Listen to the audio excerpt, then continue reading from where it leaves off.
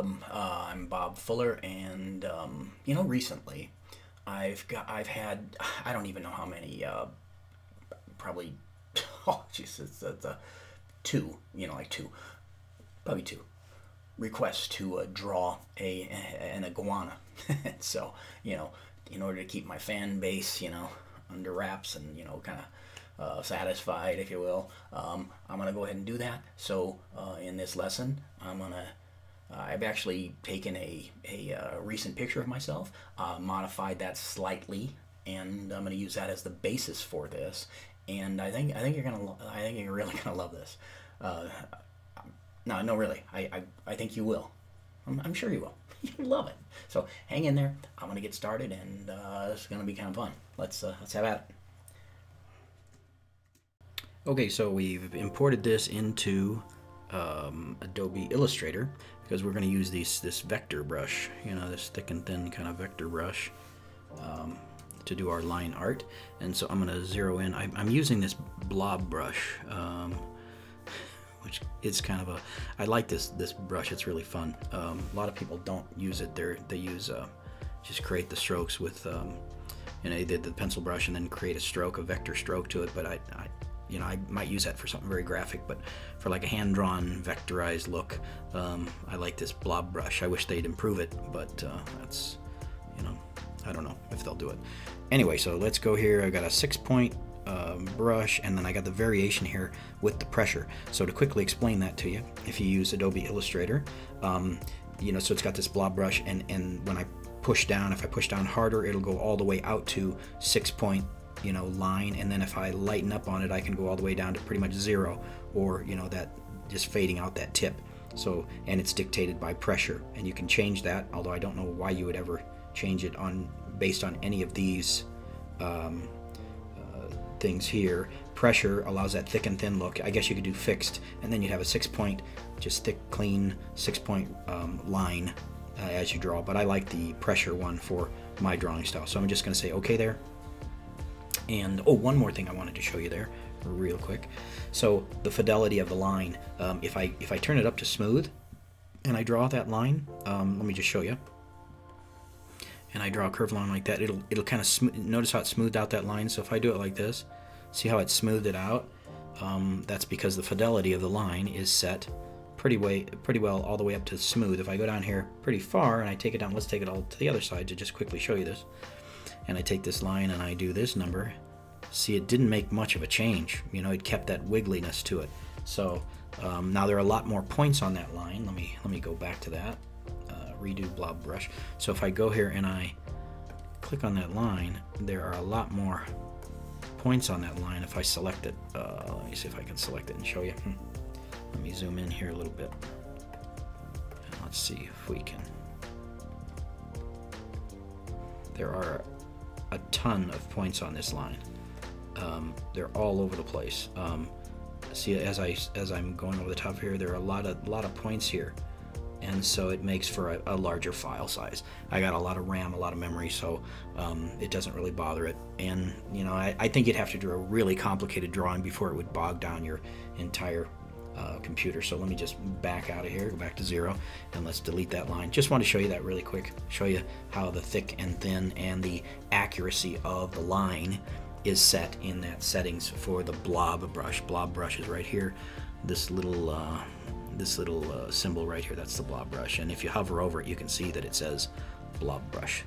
Uh, shift B, it will bring up the blob brush. So anyway, let's get this out of the way and get back to the project. Okay, so I'm going to start using the blob brush here and just start drawing this thing. And at some point in time, I may uh, speed it up here um, just so you don't have to hear me blathering on all the time. But for right now, I'm, I'm going to blather. Um, I'm going, going to uh, play around here with this thick and thin thing and just see what we can come up with. Notice that, oh, I, I wonder if I, you know what? Come on, Bob select all, delete. Let's let's go back here and make sure I got the settings the way that I want them. I want them to be. I actually like it about right there. So it's a little more accurate, uh, or excuse me, a little a little more smooth. Uh, not all the way to the to the very end of accuracy. Um, smooths out the lines just a little bit. That works best for me. So uh, here we go. Uh, starter again. So I'm gonna go here and just create the lines. And I'm not sure if I really want to do this line weight because it's almost too. Let's see what happens here. Yeah, I, no, I guess that line weight is pretty good actually. So, um, and you know, you can in in drawing, you know, in in inking. The way that I ink is, um, you know, I keep it all. I might I might do something heavy in an area, heavier line if I want to, but overall, I'm kind of just doing the thick and thin thing, keeping the line weight reasonably consistent. You can do you can get some cool effects by doing your whole outside edge of your line, like the outside part of the art, really heavy if you want. I don't, you know, for this one I don't really feel like I, I want to do that. Um, there's, you know, you can just try out the look and see what you think. So you could change the size of this blob brush if you wanted to, you know, do that. Um, and if you're following along at home, which would be kind of cool if you were. Um, but uh, you you can uh, you can change the blob brush settings, you know, pretty much any time uh, during this during this deal. So let's see if we can um, get some lines here that we like. I don't like that one too much. Let's see. So I'm pretty much um, just kind of interpreting. I kind of you know, I do that rough sketch and then I kind of come in here and just interpret it the way that I want. And you should do the same thing. Feel free, like you can make edits, you know, as you go. Um, otherwise, you just get stuck in that in the rough, or you can get stuck in that rough drawing phase. Um, where you, you just waiting for it to be perfect before you launch out and do the fin finished art, and uh, that's not been a that's not been a winning combination for me because I will overthink it, um, and uh, you know it'll it'll take could take forever for me to finally get started. Once I do, it, I can actually work pretty quickly, but it's it's just the getting started. You kind of just, or at least maybe it's maybe it's just me. It could very could very well be, um, but I I tend to uh, to overthink it if I go if I take that too far. Okay, so let's see here. Um, so notice what the blob brush is doing too. It's every one of these strokes is an actual little chunk of its own. And um, as I go here, you can see that the individual, as I highlight over, there's a bunch of little individual strokes. I probably will unify those. And the way to do that is, uh, let's see, I've got the sketch locked, right? So I don't move it. And if I just simply select all these and grab them there like that, and I go over here to the uh, Pathfinder tool, I can unify them together. Now they're, now they're all See, it's all one big chunk. It's all one piece. So it's kind of connected them all. That's very helpful um, when you're doing recoloring of lines later. So that's a good thing to do. You can do it at the very end of this though, too. Once you got your black art or black line art the way you want it, you can just go in there and and um, unify the whole thing with the Pathfinder tool. So you click on the Pathfinder tool, and this is the one that uh, uh, is Unite. Okay, and that's the one I, I use to pull all that together. Close that up. And so now what I think I'm going to do is I'm going to speed up this drawing um, and probably probably just talk to myself while I do it, um, but not force you to listen to me. Um, and then I'll come back when I've got the line art and the drawing pretty close to finish. We'll do last little touch up to it and, and uh, voila. Uh, so I will be back. I'm going to speed this up and, and here we go.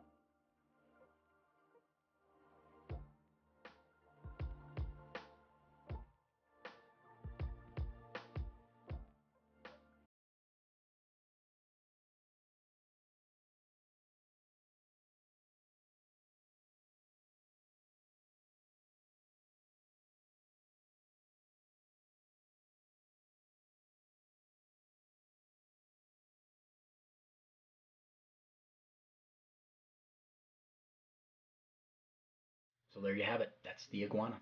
Um, if you enjoyed this uh, uh, little tutorial, uh, please subscribe to my channel and please share it with others. Uh, I'm trying to build this YouTube channel and I'm going to be doing all kinds of fun uh, graphic design and illustration stuff from children's books to packaging to all kinds of stuff, uh, projects that I work on literally every day and have been for the last, never mind, many decades.